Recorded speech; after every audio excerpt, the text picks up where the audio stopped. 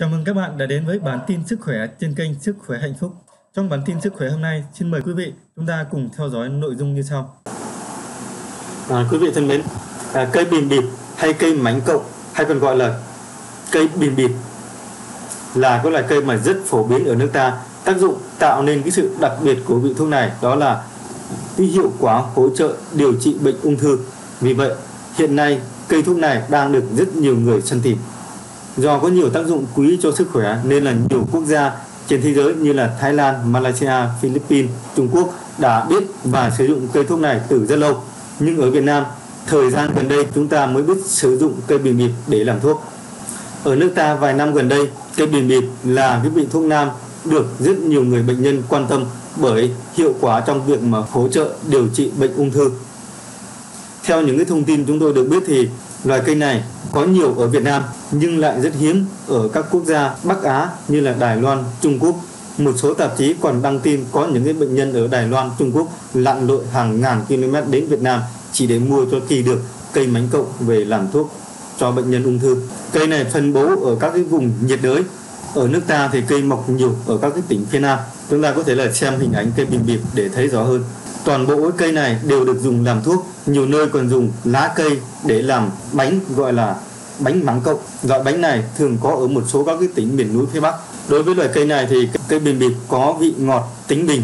Lá cây khi phơi khô có mùi thơm, lá tươi nấu canh ăn rất ngon và mát. Về công dụng thì đối với loại cây này có rất nhiều các cái tác dụng.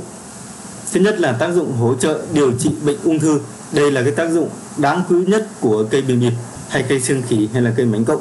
Bởi hiện nay cây thuốc có tác dụng với bệnh ung thư không nhiều và chỉ tính trên đầu ngón tay. Tác dụng mát gan, lợi mật, tác dụng hỗ trợ điều trị viêm gan, vàng da, rồi tác dụng điều trị phong thấp, đau nhức xương khớp, rồi tác dụng chống liền xương do gãy xương.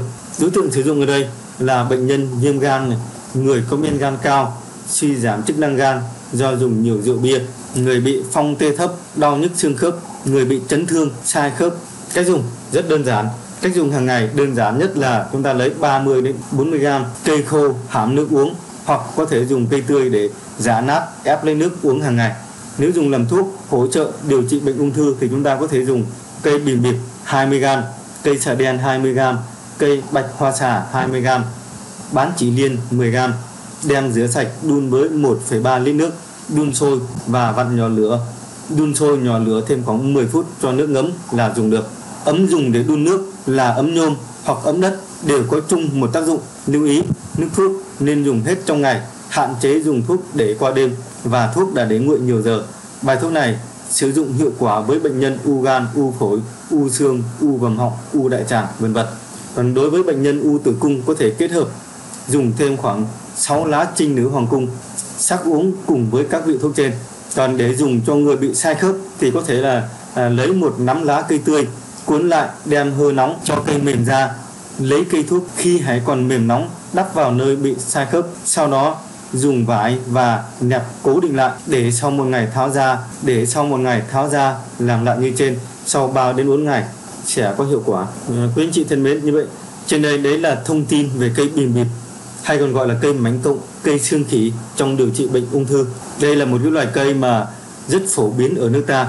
Tác dụng tạo nên cái sự đặc biệt của vị thuốc này đó là cái hiệu quả trong hỗ trợ điều trị bệnh ung thư mà chúng tôi vừa nhắc ở trên. Chính vì vậy mà hiện nay cây thuốc đang có được rất nhiều người săn tìm. Và mong rằng với thông tin này sẽ cung cấp cho quý anh chị được thật nhiều những cái kiến thức trong cuộc sống trong việc mà chăm sóc sức khỏe cho bản thân và gia đình của mình. Nếu có bất kỳ băn khoăn hay thắc mắc thì quý anh chị có thể vui lòng ghi rõ rồi để lại lời bình luận bên dưới của video và chúng tôi sẽ phản hồi lại các bạn trong cái thời gian sớm nhất. À, cuối cùng xin chào và hẹn gặp lại quý vị trong những video tiếp theo của chúng tôi.